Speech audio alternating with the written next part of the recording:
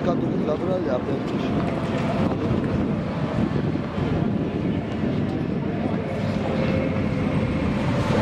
Ну понял, что не собирается.